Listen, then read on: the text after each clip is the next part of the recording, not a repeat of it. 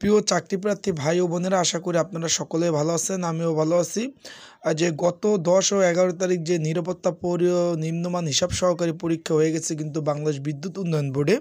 এখানে যারা নিরাপত্তা পরিপদে আবেদন করেছেন, তারা কিন্তু অনেকে কমেন্টস করতেছেন যে, ভাই, আমাদের কি শুক্রবার ও শনিবার কি ডিউটি করা প্রয়োজন হবে কিনা এবং ডিউটি করা লাগবে কিনা?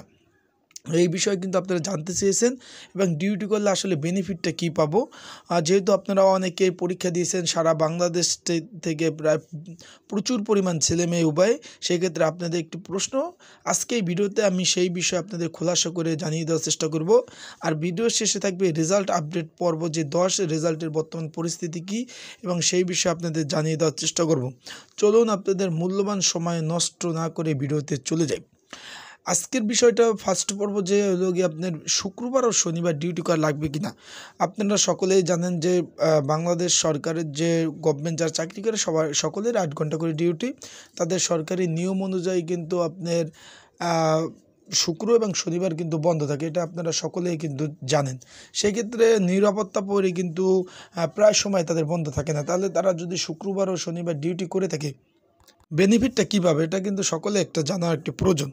সেক্ষেত্রে যেহেতু আপনারা পরীক্ষা অলরেডি দিয়ে ফেলেছেন, রেজাল্টটার জন্য অপেক্ষা করতেছেন, এখন এই যে বিদ্যুৎ উন্নয়ন বোর্ডের যে নিরাপত্তা পরিতে যারা আবেদন করছেন, ছেলে মেয়ে উভয়, এখন উদাহরণস্বরূপ আপনাদের কিন্তু আগে আগের ভিডিওতে আমার দেখছেন, এই ভিডিওতে আপনি, আমি খোলাসা করে বলে দেই যে অফিস কিন্তু আপনার বন্ধ থাকলেও কিন্তু আপনার নিরাপত্তা পরির কাজ হলো অফিস রক্ষণাবেক্ষণের দায়িত্ব। সেক্ষেত্রে কিন্তু তাদের বন্ধ থাকবে না। এখন, আপনারা বলবেন যে, ভাই, তাদের বন্ধ থাকবে না মানিটা কি?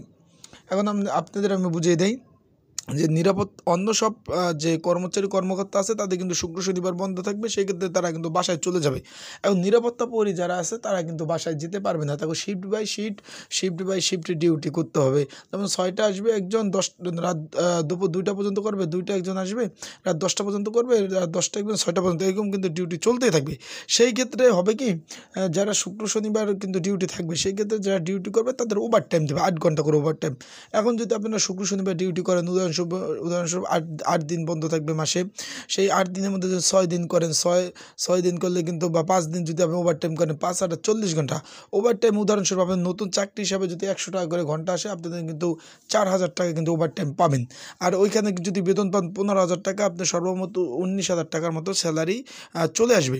এটা কিন্তু আপনারা যদি ডিউটি করেন, আপনাদের লস নাই। এই যে আপনারা পরীক্ষা যারা দিয়েছেন, তারা কিন্তু এই কমেন্টসটা করতেছেন যে, ভাই, শুক্র শনিবার ডিউটি করার প্রয়োজন হবে আমি বলব যে ভাই ডিউটি করলে কিন্তু আপনাদের কোনো লস নেই আর লাভ ছাড়া। সেক্ষেত্রে যে ওভার টাইম কিন্তু টুকটাক করতেই হবে, কারণ সবাইকে মিলে ঝিলে ওভার টাইমগুলো করতে হবে। এখন আসি আসি যে ভাই নিম্নমান হিসাব সহকারী এবং যে নিরাপত্তা পরিপদে যে আপনারা পরীক্ষা দিচ্ছেন প্রচুর পরিমাণ। এখন দশ এবং এগারো তারিখ কিন্তু পরীক্ষা দিচ্ছেন পরীক্ষায় প্রায় আজকে পনেরো দিনের মতো অতিবাহিত হয়ে গেল। এখন আপনাদের সবার একটা কমেন্টস প্রশ্ন, ভাই রেজাল্টটা দিচ্ছে না কেন? রেজাল্টটা দিচ্ছে না কেন? ভাই অবশ্যই অবশ্যই রেজাল্ট দেবে। যখন পরীক্ষা যখন হয়েছে রেজাল্টটা ইনশাল্লাহ দেবে। বিভিন্ন সূত্রে বা বিভিন্ন যদি খবর নিয়ে দেখলাম যে রেজাল্টটা প্রসেসিং চলতেছে, যে কোনো মুহূর্তে তাদের যে ওয়েবসাইট আছে ওয়েবসাইটে কিন্তু যে কোনো মুহূর্তে কিন্তু তারা তাদের রেজাল্টটা প্রকাশ করবে। সেই ক্ষেত্রে আপনারা ওয়েট করেন, ধৈর্য ধরেন, পরীক্ষা যদি ভালো হয়ে থাকে ইনশাল্লাহ, আর সফলতা আসবে, সেই ক্ষেত্রে আপনারা ওয়েট করা, অপেক্ষা করা ছাড়া কিন্তু কোনো ধরনের কোনো উপায় নেই।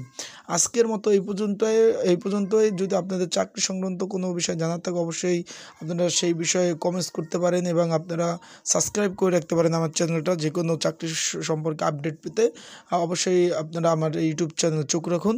পরবর্তীতে নতুন কোনো ভিডিও নিয়ে আপনাদের মাঝে আবার দেখা হবে। চাকরি সংক্রান্ত যে কোনো বিষয়ে জানতে যদি ফোন করতে চান, আমার যে ফোন নাম্বার আছে, রাত দশটা থেকে দশটা চল্লিশ পর্যন্ত আপনার ফোন দিতে পারেন। আজকের মতো বিদায়, পরবর্তী ভিডিও নিয়ে আবার দেখা হবে।